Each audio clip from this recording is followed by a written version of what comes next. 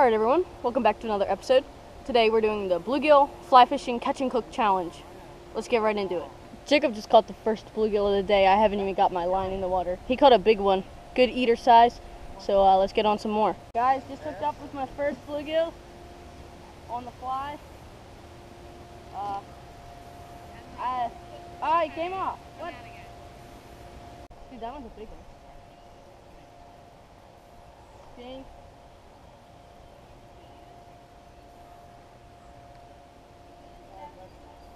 Oh! And he dies.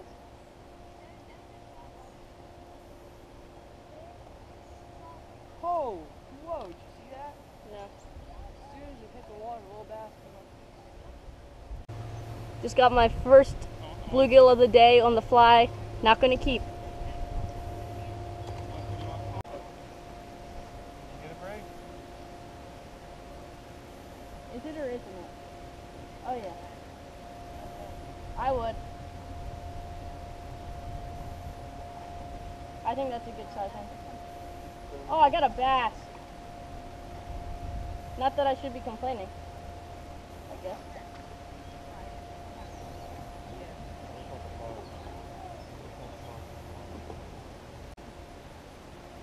Not sure if the camera was recording or not, but got a nice little bass on the fly. My first ever bass on the fly. We're not eating bass today. We're just eating bluegill. So let's let this little guy go. All right, guys. I'm gonna try to catch some. Oh, there's like 800 bazillion of them right there, off of this pier slash dock slash thing. Look, they won't put it all the way in their mouth. The most delicious. Oh, there we go, guys. That's eater. You want him? Yeah, I'll eat this one. From the day we showed up, he said we could take whatever we wanted out of here. All right, guys. My first keeper bluegill on the fly. Let's put him in the cooler. All right, guys. First bluegill going in the cooler.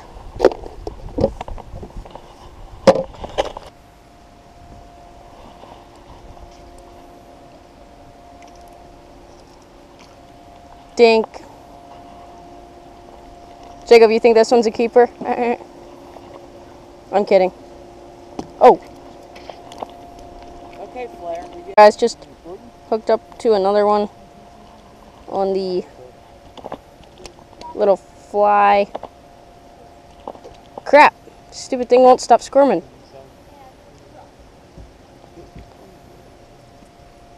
Let him go. Too small.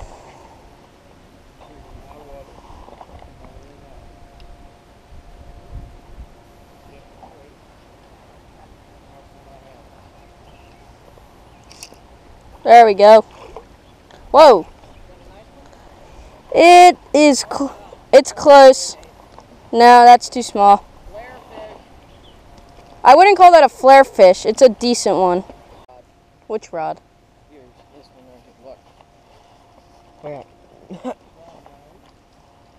That is. I'll keep that one.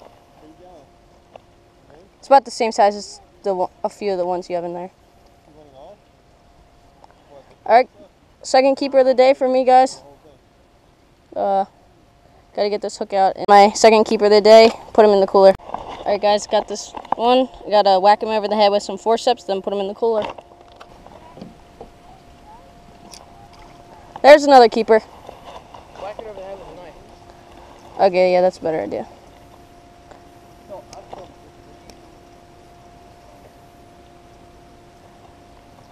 That's it. So, are you cooking them whole? No.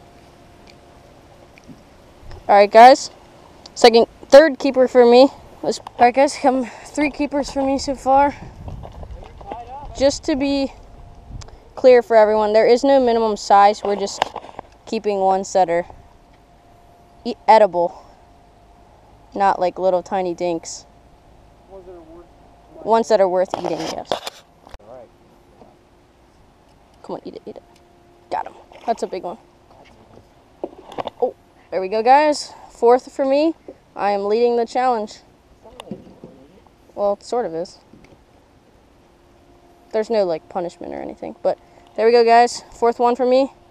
Let's get him cool in the cooler. Alrighty, folks. I think that was my fifth keeper. Don't really remember. I don't remember.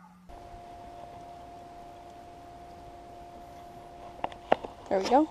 Well, bobber's only as good as the person fishing. Think there's anything.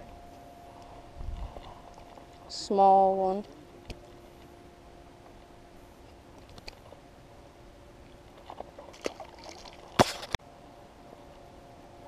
No, we don't want dinks here.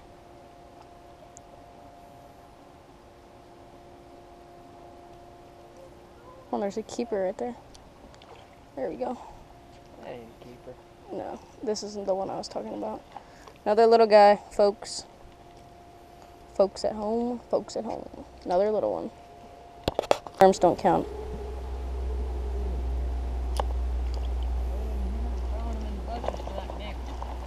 There's a mink. Another small one, guys. Oh, he came.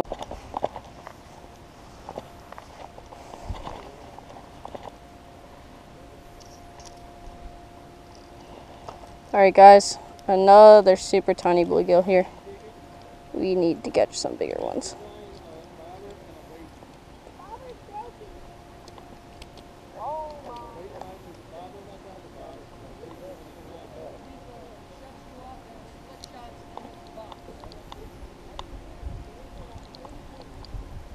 There you go.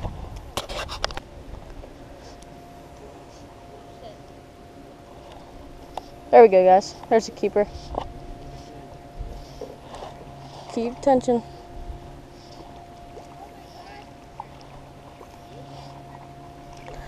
Here's my fifth keeper, I think. There we go, guys. Nice one.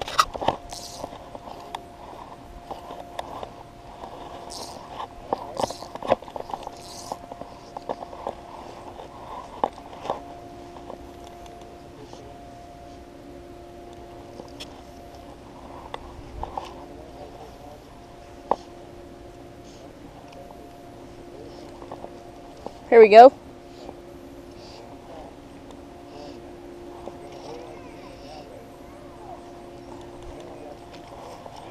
This one, guys, too small for, too small to eat. Not enough meat on this guy.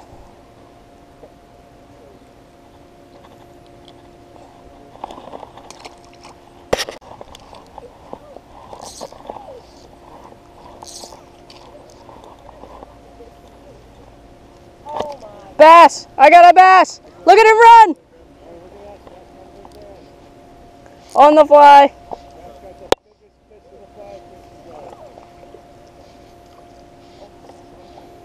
There we go, guys. My first ever,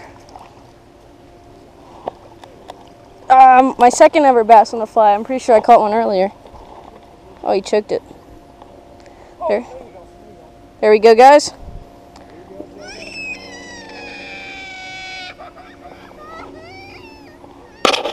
All right, guys. So uh, I've caught a few on the fly. Uh, I'm gonna catch one more, and then I'm gonna call it a day for the fishing part of this fly fishing.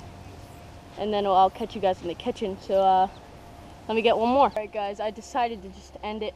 I'll show you the our box of bluegills we have here. Just curious.